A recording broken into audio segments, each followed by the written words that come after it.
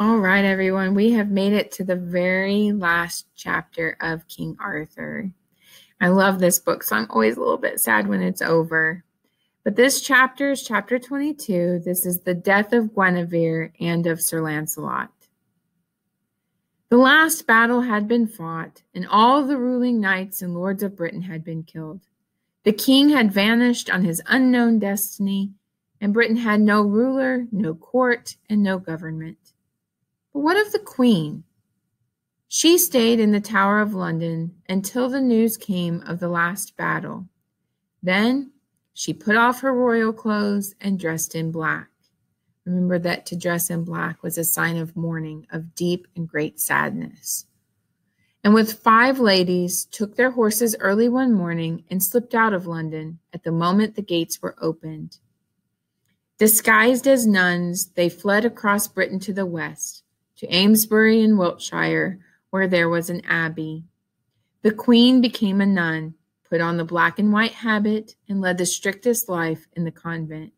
So the black and white habit is that black kind of uniform that a nun wears with a little white at the top, right?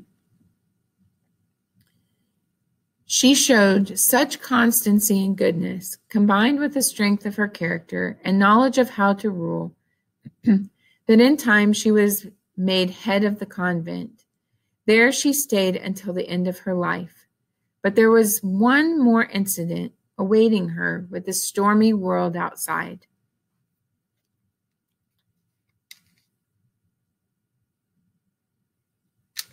Sorry about that, I need water. Sir Lancelot received the letter written by Sir Gawain on his deathbed, telling him of Mordred's treachery and asking him to come at once to help the king and rescue the queen. Do you guys remember that? So that was from two chapters ago when Sir Gawain wrote the letter, believe it, or no, it was last chapter that he sent the letter to the um, to Sir Lancelot in France. Now you have to remember, France is quite a long ways from England, so it would have taken Sir Lancelot a very long time to get the letter and then to do something about it. He did not know about the last battle, so at this point, Sir Lancelot doesn't know that the battle has already happened. He and Sir Bors at once gathered the fighting force of their family from all over France and came with speed to Britain. They landed at Dover, where they were told the news of the last battle and the collapse of the kingdom. Sir Launcelot made his peace with the dead Gawain and knelt for long hours by his tomb. With that feud was healed or with that, the feud was healed, meaning he's made peace with him himself. And Sir Launcelot turned to his next duty. He summoned all his followers and told them that he was going to look for the queen. If he did not return in 15 days, they were to go home. He thanked them for their support.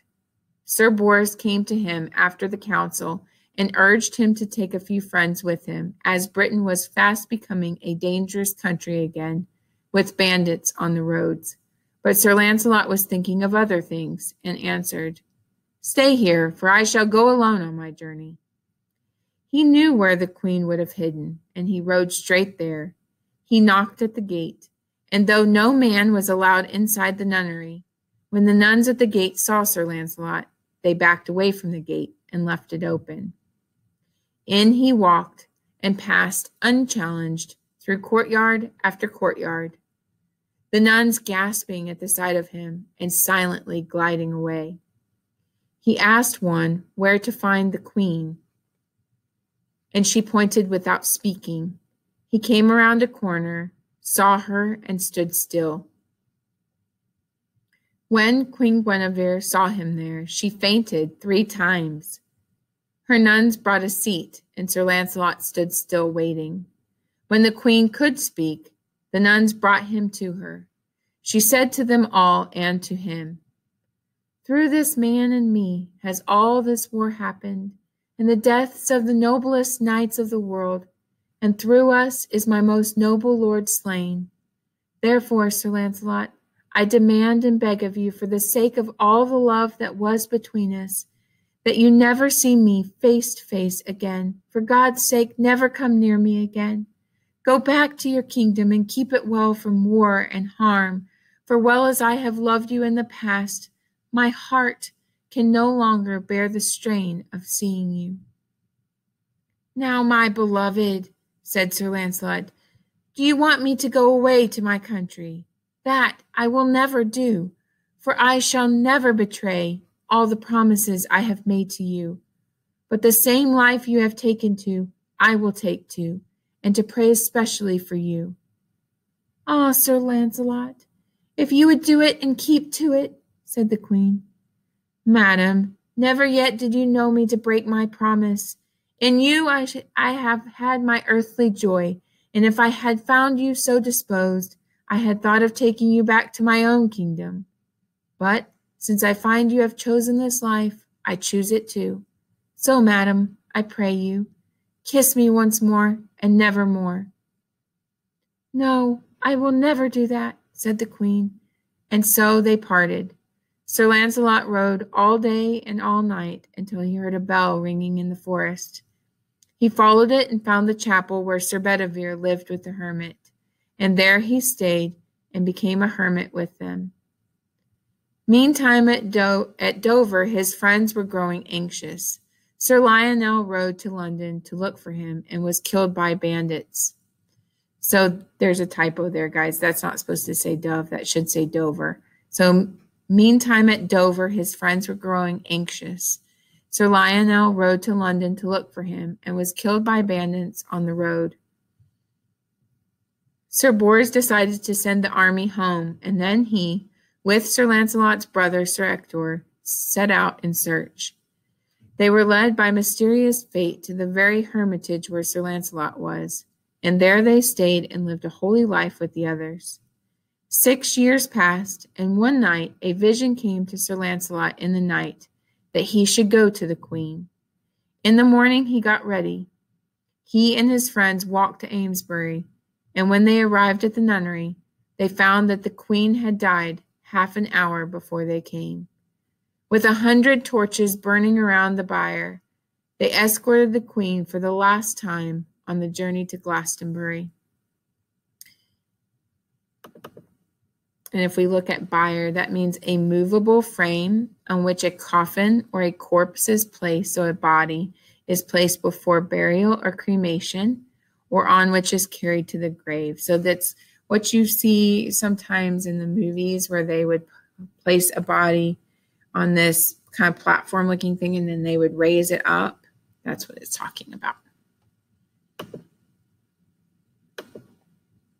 After she was laid in the earth, Sir Launcelot did not live more than six weeks. Neither food nor drink interested him, and although the loving Sir Bors and all his friends tended him, he faded before their eyes. He scarcely slept at all and was generally found beside the queen's tomb cheerful but not interested in living. Soon he was too weak to get up from bed, and he made Sir Bors promise to take him all the way north to the Joyous Gard and bury him there. One night Sir Ector woke suddenly and by impulse went to Sir Launcelot's cell. He found him dead and smiling. Ah, Launcelot, he said, you were the head of all knights. You were never matched. You were the most courteous knight, the truest friend, the truest lover that ever loved a woman, the kindest man that ever came among a company of knights, the gentlest man that ever ate in hall among ladies, and the sternest knight to your enemies that ever struck with a sword. After the burial of Sir Launcelot, Sir Bedivere stayed in the hermitage for the rest of his life, but Sir Bors and Sir Ector went home to France, to their own lands. From there, they went on crusades to the Holy Land, where in the end they were killed fighting against the Saracens. Okay, that's the end of the book. So we ended there. I want you to think about what it means to be loyal. And that when you give an oath of loyalty to someone, like Sir Lancelot did, think about what that meant to him and that once his queen, the one he had loved his, his entire life and devoted himself to. After she was dead, he felt there was nothing left worth living for because she was gone. So he felt that that his job on earth was was done as well. So he literally was faithful to her and loyal to her all the way through to the end, which is kind of interesting because if you remember the women who loved him, right, that loved Sir Lancelot, right, both of the Elaines, they did the same thing. They died of broken hearts. Well, in the end, Sir Lancelot died of a broken heart as well because he was lost without his queen. But even though the queen loved him too, but she would not be unfaithful. And the fact that she had become a nun forbade her from kissing him. So she, even at the end, she would not kiss him. She loved him, but she would not kiss him goodbye.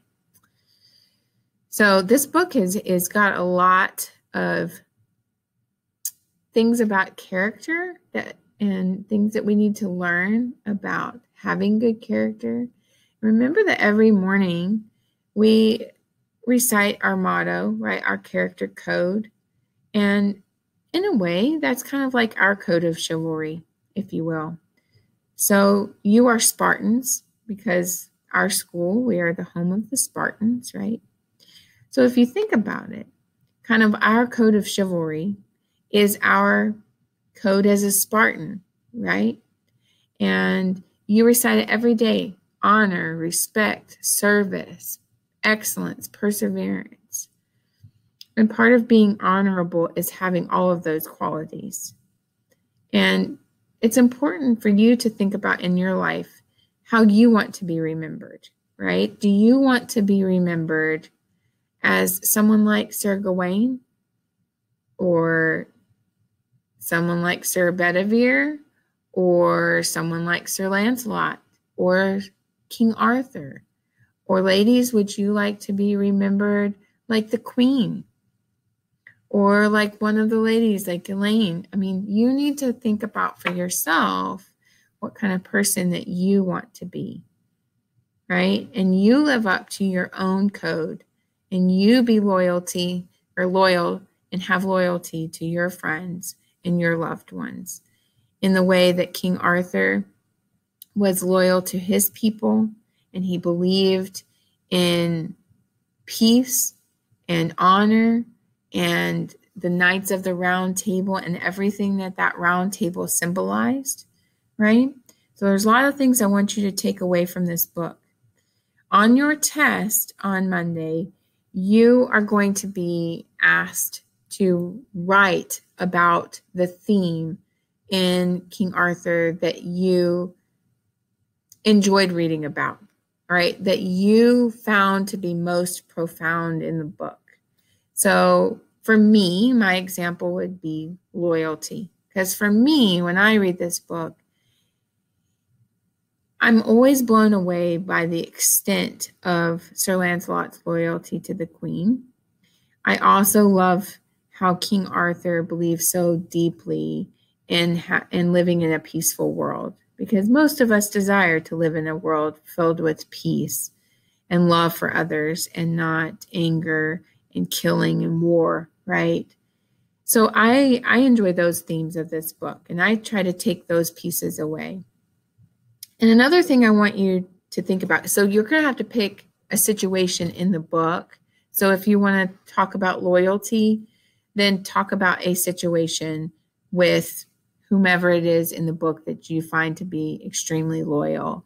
Um, so if it were me and I said Sir Lancelot, I might even talk about how, you know, even in the end, he sat by her grave and was fiercely loyal to the queen, even to her, his last dying breath, right? So you could talk about any kind of situation that you found in the book. Um, and then you have a part where I want you to tell me or tell Mrs. Rankin, right, about why you feel it's important for us to read King Arthur. Why is it that Mrs. Rankin and I ask you to read King Arthur? we don't just pick random books, right? We try to pick books that have a lot of depth to them, a lot of meaning that teach you guys morals and character traits that we want you to live up to. Okay. So I want you to think about those because you're going to have those two things to write about for your test. So there's nothing that you really have to study for for your test. It's mainly just did you understand the overall theme of the book? Now there's there's several themes, right? There's sacrifice, there's honor, there's loyalty, there's love, all of these things, friendship is within this book. I'm not telling you to pick one particular one that I think. You don't have to pick loyalty. I want you to pick the one that that you enjoyed. And then I want you to find a situation in the book as your example. Okay? And then you're going to talk about why you feel it's important for fourth graders to read this book. Okay? I'm really proud of you for making it through this entire book with me. It's been a pleasure. I love reading to you, and I look forward to reading Treasure Island with you next.